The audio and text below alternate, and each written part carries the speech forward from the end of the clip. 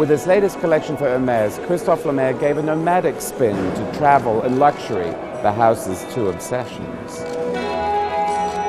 There was a big equestrian theme. It was uh, equestrian, but in a wild way, in a nomadic way, uh, a bit rough, very mannish, which I think is always very stylish for girls and can be very sensual and feminine.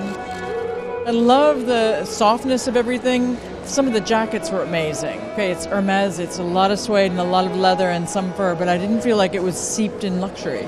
I thought it was a really great, simple, classic, modern way for people to dress. What was beautiful with the velvet was the cutting down there. I thought the wearing of the scarf like a tie was beautiful too. The girls in the scarf looking like a man. I thought that was lovely. This Hermes house is amazing to be able to design clothes for them because the materials are just so exquisite. It's a good combination, I think, their house and Christophe. I think it really works. I think of all the ones that Christophe Lemaire has done, this is by far the best. And it gives more of the company's heritage in there too. But I didn't feel like I was looking at something from the past. I thought it was really great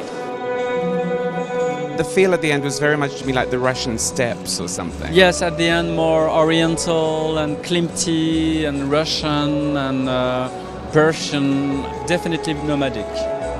It was the last impression that I liked the best, which is uh, black velvet or bottle green velvet. I think I found the definitive little black dress. That's nice. I thought that was your most complete expression yet of the things you love to do, the things the house loves to do. I think I found my place, maybe, and it's really about building every season something. I really like this idea of improving, improving season after season.